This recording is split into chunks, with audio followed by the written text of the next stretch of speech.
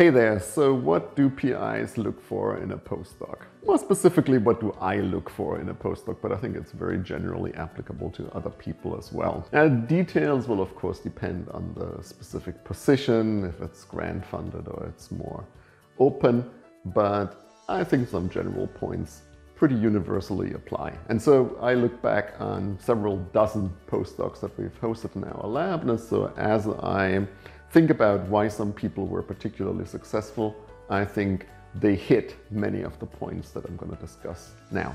Of course, the first and by far most obvious point is, will this person contribute to the productivity of the lab?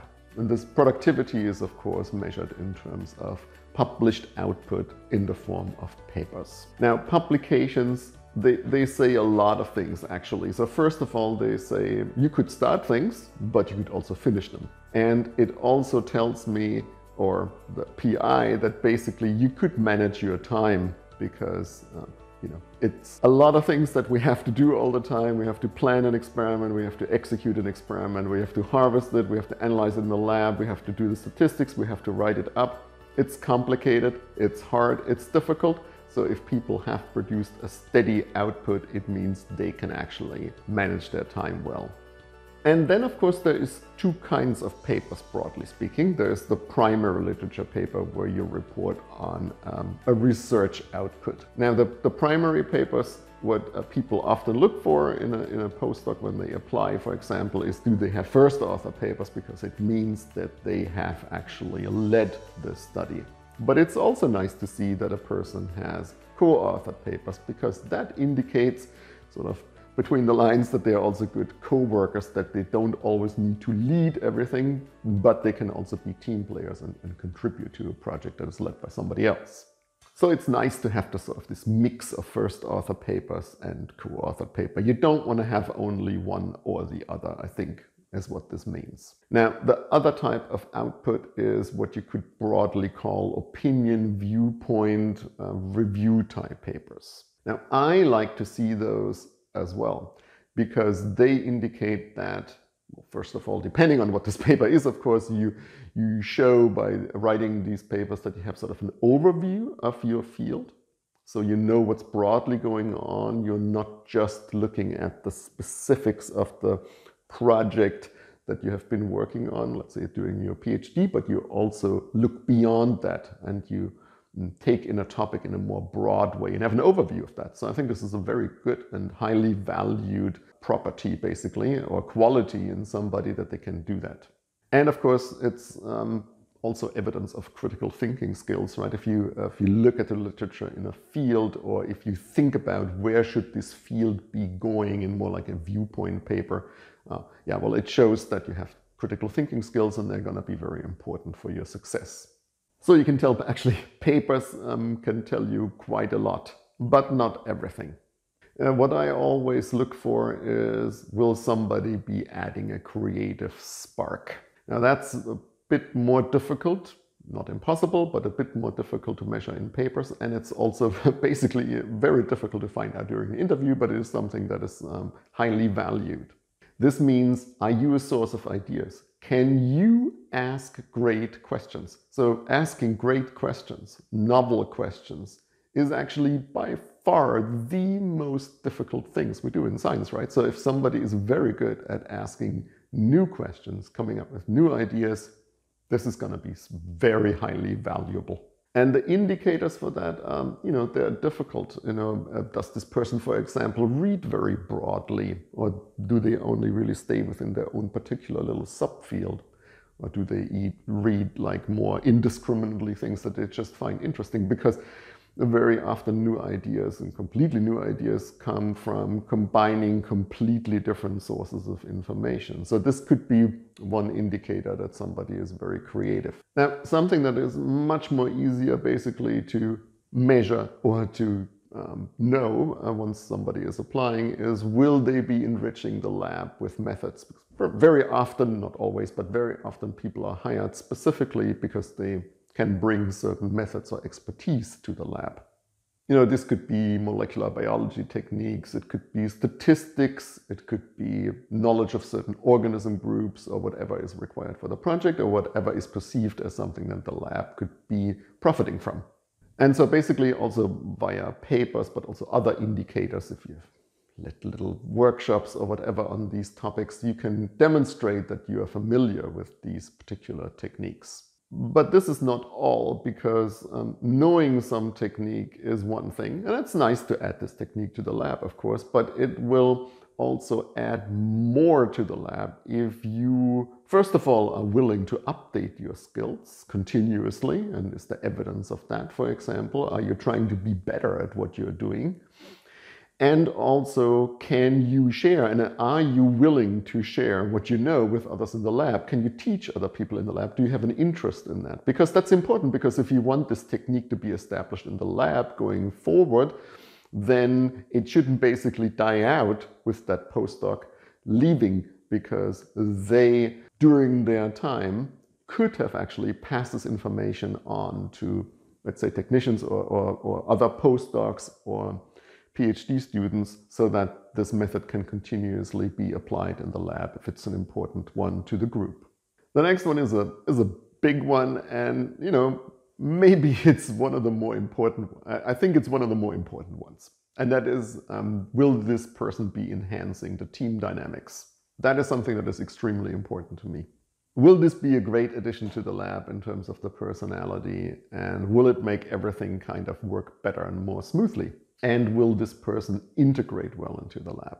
Now, this is sort of more, if, if you're thinking about an interview, this is more something you get in terms of the vibes during interviews that people give off. You know, is this person a friendly person? Does it look like they're very easy going and get along with people during the interview? They make connections, things like that.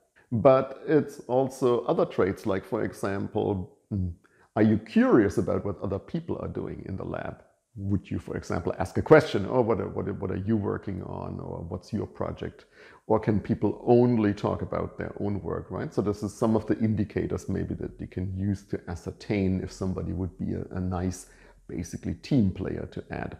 But it's also things that will probably be apparent only much later is like, do you care about making the lab a better place? Do you think about how things could be organized better? Do you maybe make little workshops when you have learned something so you can spread these skills to others. Those are all things that will make the lab overall better and are basically invaluable to um, making the team overall work better. Also things like, do you actively contribute in a meaningful way, in a respectful way to, to lab discussions?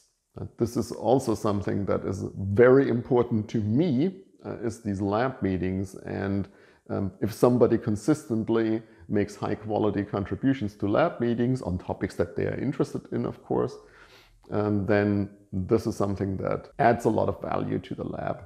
Uh, one other thing is that do you always lead? or are you also fine uh, playing along with others that is led by others? Can you contribute to others' work or do you always need to be the boss?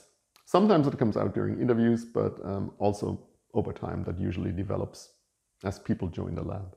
And the last point I would label with, let's say, independence, maturity, responsibility. Like, do you take on responsibility, for example, for the reporting on the grant that funds you, for example? Do you understand how the lab works? Do you have an appreciation for all the, the stuff around this lab? You know, how the ordering works, how funding mechanisms work, how the admin is going on. And, you know, do you just take an interest in that? Do you appreciate this is going on? Or are you just expecting, you know, reagents to be always filled up magically somehow and you have like no concept of what goes on except for like your own work this is sort of this um, responsibility maturity aspect that is a very nice feature to have in a person like will they offer help with like say grant writing or will they make sure that there's always the reagents there will they basically just take responsibility for some of the things in the lab I would also put under that header, are you basically on a pathway to, develop, to developing your own research line? Right? The idea is that a postdoc is um, a term limited appointment and then afterwards um, you go on sometimes to found your own lab. And so are you developing your own ideas to do that? You know, taking, of course, as a starting point, the research that you're doing in this lab, which contributes this project or um, whatever the case may be for your appointment. But are you thinking about your own stuff as you collaborate with the lab members? And then these things that you could take on to basically run your own lab later on. And these three points could be essentially summarized with, are you a good colleague? You know, and so this is basically how we handle postdocs in the lab or how I view postdocs in the labs is that they're, they're current and future colleagues. Right, now to wrap up, so basically it's probably way too much to, not probably, it's way too much to expect uh, that a person will fulfill all of these points, right? This is unrealistic. But I think people that have been successful in the lab, that have made this lab better by having been here, they have they definitely checked a bunch of these boxes, not just one. And so I think this is um, therefore an important quality of a, of a postdoc.